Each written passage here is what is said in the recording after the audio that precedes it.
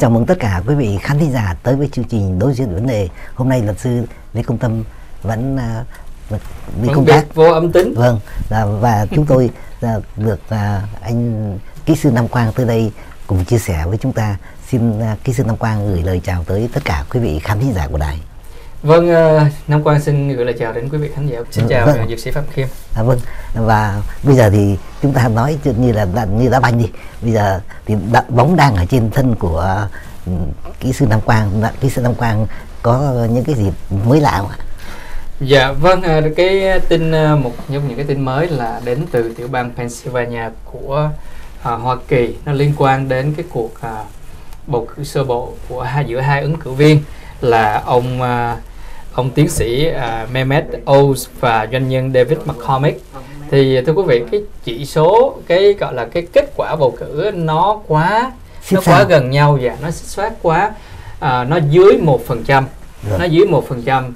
Cho nên là theo đúng cái luật của tiểu bang Pennsylvania đó thì nếu như mà kết quả bầu cử cái cái chênh lệch đó mà nó chỉ dưới một phần trăm thôi thì cái à, nó nó kích hoạt cái à, cái luật là phải đếm phiếu lại. Tự đó. tự động dạ vâng nó kích hoạt đến đếm phiếu lại. Nhưng mà à, cái ông ờ, là là quyền tổng thư ký của Pennsylvania là ông Lee Chapman đó thưa quý vị. Ông ta nói là nếu như mà cái người mà thua đó cái người mà đang thua phiếu là có nghĩa là ông McCormick mà à, từ bỏ cái quyền của mình. Nói là ok thôi bây giờ tôi chấp nhận thua rồi đó. Đúng không? Tôi chấp nhận thua rồi. Bây giờ khỏi cần đếm phiếu gì nữa hết. Thì ok thì tiểu bang nó không đếm lại. Tại vì sao? Khi mà nó đếm phiếu nó phải tốn tiền. Nhưng mà à, luật của tiểu bang bắt buộc là ok là dưới cái đó là phải đếm và tiền đó là tiền của tiểu bang phải bỏ ra. Chứ không có giống như là nếu như mà mình nghi ngờ nếu như mà mình nghi ngờ một ứng cử viên nào thí dụ bây giờ nó trên thí dụ là nó đây là một dưới một phần trăm đúng không? Bây giờ nó trên một phần trăm nó là 1.1 hay là 1.2 gì đó. Thì một cái ứng cử viên mà bị thua đó ứng cử viên bị thua họ nói tôi không có tin vào cái chuyện này tôi muốn đếm phiếu lại thì có quyền đếm phiếu lại nhưng mà lúc đó anh phải tự bỏ tiền túi ra. Đúng đúng. Dạ đó anh tự bỏ tiền túi ra. Còn cái này là nó dưới một phần trăm cho nên là cái luật nó bắt là tiểu bang phải tự động đếm phiếu lại. Còn nếu không à, trừ khi là cái ông mà bị thua đó cái ông bị thua là McCormick nói chấp nhận. Ừ thôi tôi là thằng kia. Có đếm lại thì cũng không không có thay đổi gì được. Rồi để cho kia nó thắng đi tôi chấp nhận tôi thua. Đó là như vậy thưa quý vị. Nhưng mà một trong những cái ồ oh, à, dược sĩ Phạm Bim nghĩ sao? Tại vì trong cái vấn đề này nó cũng có cái sự uh, nó có cái ảnh hưởng của ông uh, tổng thống Donald Trump ở trong này nữa xin dược sĩ Phạm Kim uh, trình bày cho uh, mọi thưa, người chúng ta nghe thưa quý vị uh, chúng ta nếu mà thường thường chúng ta để ý trong, những cái chương trình về của, của TV đó hay là thì chúng ta biết rằng ông Dr. Oz ông này là một người cũng rất rất nổi tiếng và ông ấy cũng có những cái những, những cái gọi là cái thuốc mà ông đưa ra ngoài thị trường cũng, cũng rất là cũng rất là hấp dẫn được phải không? Yeah. Dạ. Thì Dr. Oz ông này là bạn thân với lại ông tổng thống Donald Trump. Và vì vậy cho nên ông tổng thống Donald Trump biết rằng ông này nó như thế nào. Cho nên ông Donald Trump đã vận động một cách rất tích cực cho cho ông Oz. Yeah. thì đối đối địch với ông Oz là một là ông McCormick ông này là một thương gia rất giàu có. Và đảng à, cộng hòa ở đó cũng đã bỏ rất nhiều những người quen biết ông Comic đã bỏ rất nhiều tiền để vận động cho ông uh, McCormick vì vậy cho nên ông Comic này đó ông ấy uh, tranh cử với ông Oz rất xít sao ừ. và sự tranh lệch nó, nó có hơn 900 phiếu thôi yeah. mà với hơn 900 phiếu này thì ông Marco ông McCormick ông ấy bảo là ông đâu có chịu bởi vì biết đâu khi đến phiếu lại thấy trong những tờ phiếu đó có những tờ phiếu như là viết tên nào hay là uh, có những dấu hiệu mà có thể uh, loại cái lá phiếu này thì sao thành ra ông ấy bảo là bây giờ phải đến phiếu lại ông không yeah. chấp nhận là thua yeah. và khi, để, khi đến phiếu lại như thế này đấy thì trước khi đến phiếu lại thì chúng ta biết là gì là đảng đảng cộng hòa đó đó đã yeah. loại bỏ những loại bỏ những phiếu mà những phiếu đó là về mà không có không có không có đóng dấu cái không có cái ngày yeah. không có ngày mà uh, của cử tri viết trong đó là cái ngày bỏ đi bỏ phiếu thành ra cái này làm cho uh, đảng cộng hòa bảo là cái này là tất cả những phiếu bị loại và yeah. những phiếu đó loại thì không phải loại chỉ có Markovic mà có thể loại cái phiếu của người ta bỏ cho ông Dr. Oz luôn nhưng mà rồi cuối cùng thì ông Markovic phải chấp nhận là những cái lá phiếu đó là không có ờ, không có đàng hoàng không đúng cho nên loại và vì loại như thế cho nên sau cái ngày đếm phiếu cuối cùng ấy, thì ông Dr. Oz đã hơn được uh, hơn hơn 900 phiếu và vì vậy cho nên đã kích hoạt cái luật mà đếm phiếu lại và nếu đến phút lại thì chúng ta nghĩ rằng ông tốc Oz vẫn có thể ông thắng nếu mà uh, có lại ông Comic có lấy lại một ít được ít phiếu thì thôi chứ không không thể nào không thể nào mà thua được.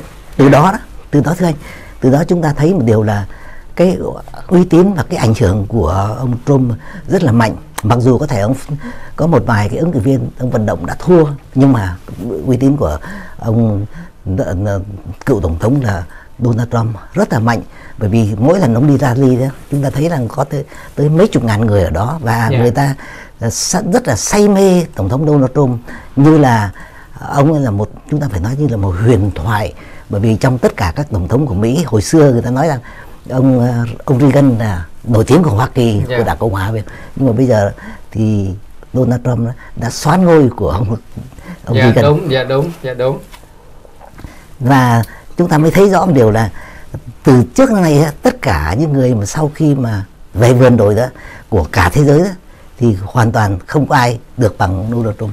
Yeah. Dạ thì ờ, thưa quý vị là trong cái cuộc khảo sát ờ, gần đây nhất ở trong ờ, đối với những người đảng viên đảng cộng hòa đó thưa quý vị thì cái tỷ lệ mà à, đồng ý là tổng thống Donald Trump là tổng thống tốt nhất uh, giỏi nhất uh, vượt xa vượt gấp đôi tổng thống uh, Ronald Reagan luôn thưa quý vị. Và mà quý vị biết là tổng thống uh, Reagan là uh, là tổng thống nổi tiếng lắm trong lịch sử của Hoa Kỳ.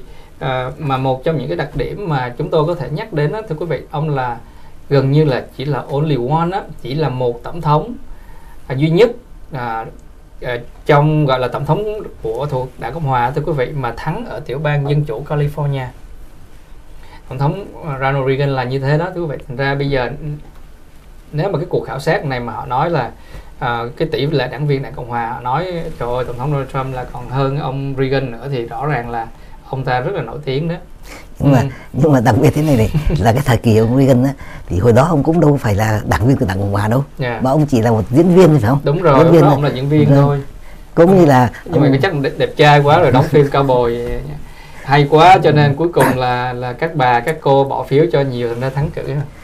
Dạ. nói gì nói thì Donald Trump cũng đẹp trai lắm mà nha. không hồi nếu mà mình nhìn vào cái, Donald Trump cái hồi mà cách đây năm bảy hai mươi năm đấy rất đẹp trai. Nó Donald Trump tới giờ vẫn còn đẹp trai. Và bây giờ lắm, và bây giờ thì rất, rất rất đẹp lão. Yeah, chỉ thua uh, dược sĩ phạm kim tí. Nhưng mà nhưng mà có một điểm đặc biệt là mà cũng cũng gần ông Donald Trump cũng gần giống tôi đó là ông không uống rượu. Yeah. ông không hút thuốc đúng rồi. Hai cái đó là từ trước nay tôi không uống rượu không nhưng, nhưng mà trong tứ độ tường là thế nào? Phải dính cả. Ông Donald Trump rất là mê gái thưa quý vị. Trời ơi mà mê toàn mấy phụ nữ trung đông không à. Không xin lỗi xin lỗi. Đông âu. Thế mấy bà mấy bà vợ của uh, Donald Trump toàn là mấy cái người uh, người Nga nè giống rồi uh, người người gì ta? Người Ukraine hả? Này à, nói chung cho mà, mà, mà, mà, mà, mấy bà đẹp mà người nào cũng đẹp không à nhưng mà có có điều đặc biệt là ông ấy có người đẹp như thế giàu như thế mà nhưng mà con cái rất thành công đàng hoàng. Đúng. Cái đó mới là yeah, kiểu yeah. Đề. năm sáu đứa đứa nào thành công hết. Không có đứa nào nghiện ngập mà xì ke ma túy gì giống như thằng thằng thằng Hunter con của Joe Biden. Trời đất. Thật sự mà nói thưa quý vị cái cái trong cái chuyện dạy dỗ đó thưa với là dược sĩ của cha mẹ đó nó quan trọng lắm. Con của Joe Biden thằng thằng lớn cái anh chàng lớn thì tự tử rồi còn cái ông nhỏ thì uh, hút sách rồi trời ơi chơi ma túy rồi rồi ngay cả lấy cả lấy cả chị dâu của mình nữa. Mà Joe Biden cũng ok với lại cái chuyện đó luôn. Thì quý vị thấy nội trong gia đình người ta nói là tu thân tề gia trị quốc bình thiên hạ mà bây giờ nội trong gia đình của mình nó đã bê bối như vậy con dạy không có được đứa này đứa hư đứa tự tử thì làm sao mà cai chịu được à, điều hành được một đất nước một quốc gia mà, mà một quốc gia rộng lớn như Mỹ thưa quý vị. Đó bởi vậy mình nói là Joe Biden thật sự ra Joe Biden không có điều điều hành đất nước đâu mà người ta nói là à, ngay ông à, Elon Musk đó, ông nói ở trong một cái tweet của ông ông nói là cái người mà điều hành đất nước là the one control the prompter. Có nghĩa là ok có thể là nguyên một bộ sậu của Obama ở phía sau là đánh máy rồi đưa lên cho cho Joe Biden đứng đó rồi chỉ đọc như vậy thôi. Đúng không? Đi còn không vững nữa mà sao mà giờ làm cái gì bây giờ? Ờ, khổ là cái chỗ đó nhưng mà giờ quay trở lại cái vấn đề thưa quý vị là ừ, tổng thống Donald Trump đó. À, dược sĩ phạm kim nói cũng đúng là cái um, trong cái cái kỳ mà bầu cử sơ bộ ở Pennsylvania thì ứng cử viên mà được uh, tổng thống Donald Trump uh, endorse endorse quý vị uh, là ông uh, ông Mehmet Oz. Thì ông thắng nhưng mà thắng với cái tỷ lệ cũng khá thấp cho nên là nó người ta phải đếm phiếu lại. Thì ngược lại là ở tiểu bang Georgia có thể là cái tin này nó cũng à, nó, quý vị đã nghe rồi, nhưng mà à, cái năm quan có những cái update và những cái cái như là cái à, cái bàn luận đó, thưa quý vị, mà quý vị cũng nên nghe. Là ngược lại tiểu bang Georgia là ông Brian Kemp là ông đương kim thống đốc của của Georgia đó, thưa quý vị. Ông ta là cái người mà không được tổng thống Donald Trump ủng hộ. Ngược lại là tổng thống Donald Trump đã đi ủng hộ ông David Perdue. David Perdue là trước đó ông ta là thượng nghị sĩ rồi, nhưng mà trong cái kỳ bầu cử à, cái trong cái general election mà tổng thống Donald Trump bị thua đó thưa quý vị là ông ta cũng thua luôn. Ông ta cũng thua luôn.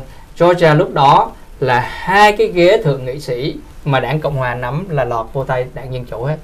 Đó mình tưởng là cái cái cái ngày hôm đó là cái ngày mà năm quan ngày 6 tới tháng 1 năm quan còn nhớ thưa quý vị là năm quan ngồi ở trong khách sạn ở Washington DC đó mình à, là cái cái hôm mà bạo loạn đó, thưa quý vị, ở trong đồi Capitol là tụi Nam Quang vừa mới đi từ Capitol về đó nha, dược sĩ.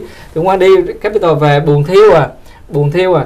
Rồi đang ngồi xong rồi mình coi ngồi mình coi tivi mình coi cái kết quả bầu cử đó, mình thấy nó cứ nhích lên. Mới đầu là đảng cộng hòa, nha, ông Perdue này, David à, là là dẫn đầu, nhưng mà dẫn đầu cái cái số cái số phiếu dẫn thấp quá, xong rồi tụi bên kia, tụi dân chủ nó cứ nhích nhích nhích nhích lên từ từ. Trời ơi, mình nói chắc chết rồi, thua rồi đó nó như vậy. Ra cuối cùng thưa quý vị là đảng ờ, đảng cộng hòa bị mất hai hai ghế ở ở Georgia cuối cùng. Thành ra bây giờ uh, cái tỷ lệ thượng nghị sĩ ở trong uh, thượng viện ở thượng viện là 50 50 à, nó rất rất là bất lợi cho đảng cộng hòa. Trước đó đảng cộng hòa là 51 à, đảng dân chủ 49 thì nhưng mà bây giờ sau cuộc bầu cử đó thì là 50 50 à, nhưng mà nếu mà 50 50 cũng không phải là hòa như quý vị nha. Tại vì uh, luật của Mỹ họ đưa ra rất là quan trọng là à, mà hay lắm.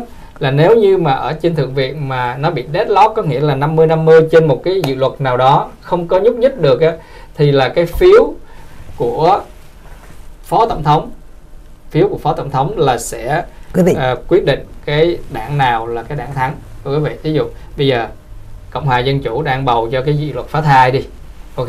Thì 50 50 có nghĩa là không nhúc nhích gì được huề ba cái đó là huề rồi thì cái phiếu của bà Kamala Harris nhảy vô bà nói ok phiếu của tôi tôi bầu cho cái dự luật phá thai nè. Đó có nghĩa là 51 50 thì là cái dự luật nó pass. Đó là cái như nó quan trọng ở chỗ đó. Nhưng mà quay trở lại cái chỗ là ông ông Trump. Ông Trump không có ủng hộ ông David Cam mà ông David Cam vẫn thắng. Ông David Cam vẫn thắng thưa quý vị. Trong khi ông David Perdue thì thì bị thua mà thua rất là xa thua rất là xa. Cho nên là à, cũng tùy thuộc vô những cái tiểu bang à, hay những cái tình huống như thế nào thì có thể là ông Trump được ông Trump ủng hộ là sẽ có lợi hoặc là được ông Trump ủng hộ cũng chưa chắc là là thắng nếu như mà tại vì thật sự ra là lòng dân hết thưa quý vị thì không biết gì sự phim có ý gì trong cái chuyện này không? Không, thực ra thì chúng ta phải nhớ nhớ một điều này này là vì ông David Perdue đó ông ấy không có hoạt động một cách rất là tích cực dạ, bởi vì rồi. chúng ta biết rằng đối với lại một cái người mà chưa có nổi nổi tiếng lúc đó đó và bây giờ nếu mà chẳng hạn như là hoạt động rất tích cực đi từng nhà từng nhà nhà chúng ta gọi như thế từ hay từng khu gõ cửa người ta thì dân biết cho nên dân ở đó người ta đâu có biết ở ông ông có đưa đâu mà yeah. chỉ biết ông ông ông kem thôi mà ông kem làm cái gì ông kem lúc để mà ông kem đang là đang là uh, ông kem đang là, là một người thống đốc thành ra ông có điều kiện để dạ vâng. thành ra ông có điều kiện để ông gọi mình gọi là ban bố cho người dân cái này kia chẳng hạn như ông bớt yeah. tiền xăng ở kia tất cả mọi cái thành người dân chỉ biết là đây là ông kem cho tôi thôi đúng rồi tôi đưa, đưa, có. Yeah, đúng rồi đó là cái lý do mà đúng. ông kêu ý chang giống như là ông nội uh, uh, Gavin Newsom ở California yeah. đó thưa quý vị khi mà đang đối đầu với lại cái vụ uh, uh, recall bãi nhiệm mà của những người cộng hòa tiến hành để bãi nhiệm ông ta thì ông ta tại vì đang là đương kim thống đốc mà có quyền mà thành ra mà đảng dân chủ lại đang control à, quốc hội của California. Thành ra họ ra đủ thứ luật hết họ cho người nghèo à, tiền này tiền kia tùm lum hết đủ đủ thứ hết sao người nghèo nói. Trời ơi ông này tốt quá ông này tốt quá nên tôi phải giữ ổng. Ngay cả chính là mẹ của năm quan này thưa thưa với là dược sĩ là người rất là ủng hộ tổng thống Trump ủng hộ đảng cộng hòa nhưng mà nói thôi mẹ thấy ông à, ông Gavin Newsom ông cũng tốt. Giờ nếu như mà không bầu cho ổng thì mình sẽ bị mất cái này mất cái kia mình đâu được tiền hay là có nhiều khi là bị mất benefit gì đó. Thành ra cuối cùng lại rồi lại bầu cho ông Gavin Newsom mà mặc dù là đảng cộng hòa. Đó là như vậy thưa về cái người mà đương nhiệm á họ rất có lợi à, trong cái vấn đề mà mà khi mà nó dẫn đến chuyện à, bầu cử à, tái đắc cử hay là tái tái tranh cử quý vị tại vì họ là cái người luôn luôn ở trên tivi ở trên báo chí được nhắc tới cử tri nhắc tới thành ra họ có lợi lắm. Họ rất là ít khi bị thua trừ khi là họ quá tệ. Đúng. Yeah.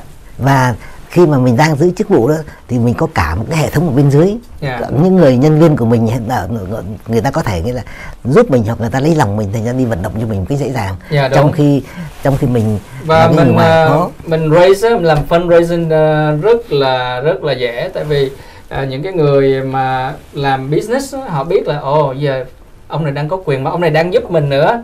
Ở kia phải dồn tiền cho ông đi để ông thắng thì mình tiếp tục mình có cái công việc để mình làm. Còn nhiều khi cái ông kia vừa mới lên đâu biết ông kia nó ra như, như thế nào đâu. Thành ra cái người mà làm business businessman họ họ ít khi muốn thay đổi lắm nếu như mà cái công chuyện của họ nó đang nó đang go smooth. Dạ dạ vâng. À, nhưng mà kỳ tới này thì ông uh, Kem phải đối diện với một người uh, ứng cử viên của đảng cộng dân chủ cũng rất là rất là gay go đó nghe. Dạ bà Stacey Abrams đó dạ uh, thưa với quý vị cái bà Stacey này lần trước bà cũng cũng có tranh cử nhưng mà bà thua. Lần trước bạn có tranh cử mà bà thua nhưng mà bà cũng thua với lại cái số phiếu nó nó nó thấp lắm thưa quý vị. À, không có nhiều đâu. bởi vậy là cái kỳ này à, người ta nói người ta nói là mặc dù là trong cái cuộc bầu cử bãi nhiệm à, xin lỗi thưa quý vị trong cái cuộc bầu cử sơ bộ thì ông Kem không có được à, ông Donald Trump ủng hộ. Nhưng mà trong cái cuộc bầu cử general election à, vào tháng 11 tới á, thì ông Kem rất là cần cái sự ủng hộ của ông Donald Trump. Em rất là sự cần sự chúng, chúng, để mà thắng cái bà này. chúng ta biết rằng nhưng mà không biết là ông sẽ làm như thế nào. ông ông uh, cái cái ông mà đối diện đối đối lập đối đầu với ông Kem đó ông này đó là ông Perdue. Ông nói rằng để cho đảng thắng ấy, thì ông sẽ cố gắng ông giúp cho ông Kem nhưng mà không biết là cái đó là lời nói của một uh, chính trị gia hay là thực sự cái lòng ông yeah. Dạ. thật sự đó là cái điều mà chúng ta không biết phải không ạ? Vâng, thực sự ra là như vậy. À, Nam Quang nghĩ là nó cũng sẽ um, come down to cái cái decision của ông Donald Trump vậy đó. Thì uh, ông Kem này cũng đừng có nên là cứng đầu quá đối đầu với ông Trump. Tại vì cái này thật sự ra nó cũng không có lợi khi mà đối đầu với ông Trump. Tại trước đó uh, ông Donald Trump không có ủng hộ ông này là tại vì trong cái cuộc mà uh, cái trong cái general election ông Trump thì nói là ô cái cuộc bầu cử này gian lận rồi xong rồi muốn ông Kem làm tất cả mọi thứ trong cái quyền hạn của ông Kem lúc đó là là đương kim ờ, thống đốc là phải đếm phiếu lại hoặc là ra những cái quyết định mà nó có lợi cho ông Trump. Nhưng mà ông Kem ông không có làm. Ông Kem ông từ chối ông không làm ra. Ông Trump ông rất là bực mình ông không có thích ông này cho nên ông mới ông mới ủng hộ cho ông ờ, David Perdue ra để mà à, giành cái cái chức của giành cái chức của ông ông David à, ông Brian Kemp. Nhưng mà bây giờ mình cũng không biết là bây giờ tới lúc mà bầu cử thống đốc chỉ có mình ông Brian Kemp là đảng cộng hòa thôi bây giờ không ủng hộ ông thì ủng hộ ai bây giờ nhưng mà tôi thấy là chúng ta nghĩ rằng hơi, hơi căng. không nhưng mà chúng, chúng ta nghĩ rằng dù thế nào chứ nữa thì để cho có một người của đảng cộng hòa thì chắc chắn là ông Trung cũng sẽ cũng, cũng sẽ cũng sẽ phải hỗ trợ cho bởi vì trước đây cái lần nhưng mà, mà chưa chắc đâu. Vâng. Cái này nó nó có cái tiền lệ nè. Là ông Trump hồi xưa là ứng cử viên duy nhất của đảng Cộng hòa. Nhưng mà gia đình ông John McCain đâu có ủng hộ đâu. Và bên gia đình ông Bush cũng không ủng hộ luôn. Thành ra bởi vậy là thua uh, thua đau đớn ở Arizona. Thấy không? Ổn dễ sợ là ổn luôn. Vâng thưa quý vị uh, chúng tôi ờ, đã hết giờ rồi. Xin hẹn gặp lại với lại quý vị trong cái chương trình 2 của uh, của chương trình này